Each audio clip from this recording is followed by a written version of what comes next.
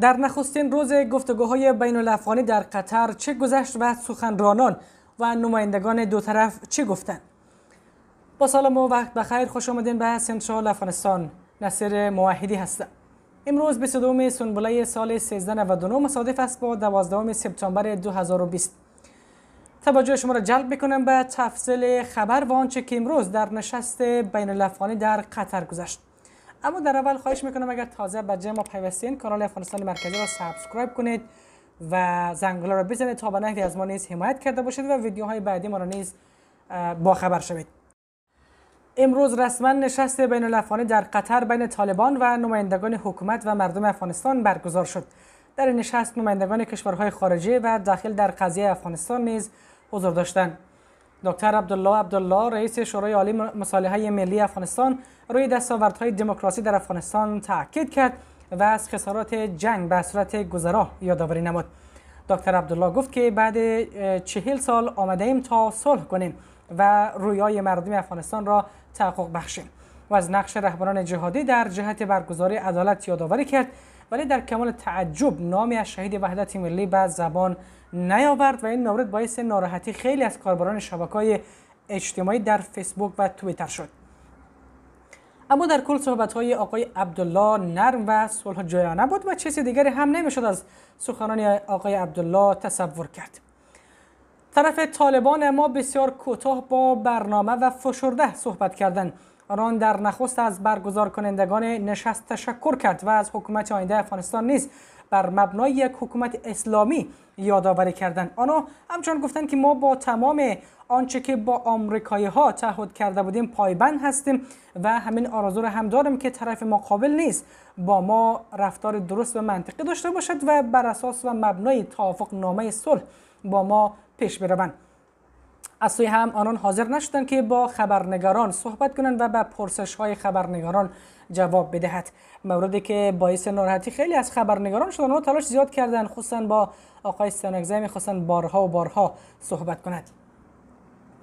یکی دیگر از سخنرانان نشست وزیر خارجه آمریکا بود. او از هر دو طرف یا هر دو جانب خواست که از خود نرمش نشان بدهند و از فرصت به وجود آمده به خوبی استفاده کند.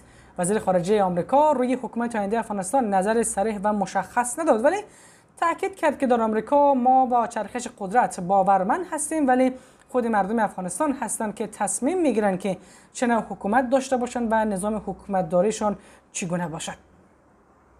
وزیر خارجه ترکمنستان که از همسایگان افغانستان و از یکی کشورهایی هست که روابط اقتصادی خوبی با افغانستان دارد نیست اظهار امیدواری کرد که این گفتگوها به صلح در افغانستان بیانجامد و صلح که البته پایدار باشد و نه نامنظم و چند روزه. او گفت که صلح روی اقتصاد و رفاه مردم افغانستان نیز تاثیر خواهد داشت. کشور ترکمنستان را گفت که برای رونق اقتصادی افغانستان در کنارشان هست و او گفت که ما از هر نوع پلان صلح جایانه و اقتصادی در افغانستان حمایت می‌کنیم. وزیر خارجه چین هم از برگزاری نشست خیلی خوشبین بود و گفت که نشست به سادگی به وجود نیامده و ماها تلاش صورت گرفته است تا این گفتگوها آغاز شود. آرزوی همیشگی مردم افغانستان گفت که صلح است. وزیر خارجه چین گفت که ما با افغانستان همسایه هستیم و از یک افغانستان آرام و مترقی حمایت می‌کنیم. مهم است که مالکیت گفتگو را خود طرفهای افغانستان باید در دست داشته باشد موردی که قطعا طالبان و حکومت افغانستان نیز روی آن تلاش خواهند کرد.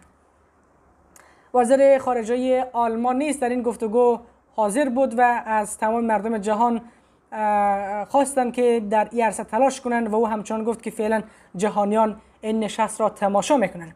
او گفت که برای رسیدن به صلح چالش های زیادی وجود دارد. ما یک صلح با عزت می‌خواهیم. ما از جمله از جامعه بین المللی هم گفت که خواهش می‌کنیم که این روند را حمایت نماید او گفت که امروز بسیار روز مهم برای مردم افغانستان هست. باید صلح بیاید که حقوق همه در آنها رعایت شود.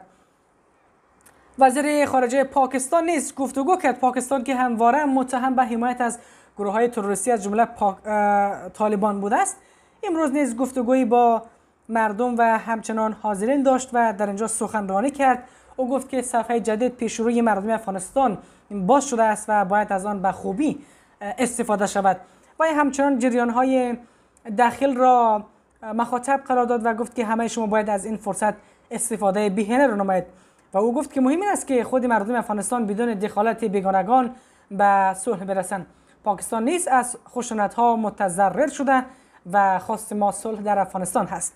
وزیر خارجه پاکستان همچنان در از صلح در افغانستان به عنوان یک دستاورد یاد کرده و گفت که رفاه می آورد و صلح می تواند که باعث ترقی افغانستان شود و یک افغانستان مترقی به نفع منطقه و جهان هست.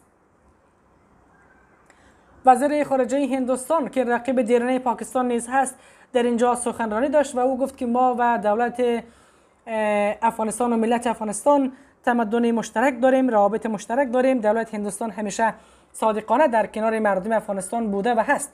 ما از هیچ گونه کمک دریغ نکردیم و نمی‌کنیم و امروز هدف همه برقراری صلح در افغانستان هست. او گفت که رهبری صلح را باید خود مردم افغانستان به عهده داشته باشد. دستاوردهای ما باید گفته حفظ شود. ما خواستار یک آتش بس فوری در افغانستان هستیم. امیدواریم که دو طرف قضیه انعطاف پذیر باشند تا به یک صلح پایدار برسند. اتحادیه اروپا نیز از گفتگوها حمایت کردند و گفت که این گفتگوها باید منجر به آتش بس فوری در افغانستان گردد. خشونت ها باید پایان پیدا کند و اتحادیه اروپا تلاش می‌کند که صلح با, صلح با عزت تأمین شود و این یک فصل نو برای مردم افغانستان خواهد بود. نماینده نوتو نیز در اینجا صحبت کرد و گفت که ما در مراسم در کابل نیز حضور داشتیم. مردم افغانستان واقعا تشنه صلح هستند و از جنگ در واقع خسته شدند. مردم افغانستان و نیروهای ما قربانی زیادی داده اند دو طرف باید متحد باشند که افغانستان دوباره لانه امن تروریستا نشود. این گفتگوها باید دستاوردها را حفظ کند. ما از افغانستان آزاد و دموکراتیک حمایت می‌کنیم. تلاش می‌کنیم که یک صلح با عزت در افغانستان بیاید.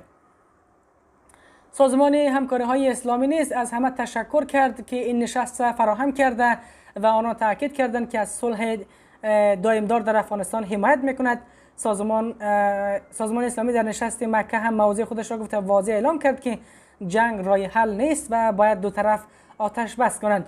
خیلی مهم است برای یک صلح پایدار و اجماع منطقه نیاز هم داریم و او را ما به سرانجام برسانیم. حمایت سازمان ملل هم تاکید کرد رویش و گفت که خیلی خیلی مهم هست در پایان خبرنگاران هم تلاش کردند که گفتگوی با نمایندگان طالبان داشته باشند اما موفق نشدند به خصوص رسانه های جهانی که از این بابت یک اندازه دلخور هم بودند که نتونستند با نمایندگان طالبان صحبت کنند و حتی اطرافیان بزرگان و هیئت گفتگو کننده طالبان نیز از نزدیک شدن خبرنگاران به این مقام ها جلوگیری کردند. از اینکه با ما همراه بودین جهان سپاس. ما اتفاقا را هر روز برایتان گزارش تهیه می‌کنیم. امیدوار هستیم که همیشه با ما همراه باشید. و اگر تازه به کانال ما سر زدین لطفا channel ما را subscribe کرده و زنگوله را نیز بزنید تا درود دیگر بدرود.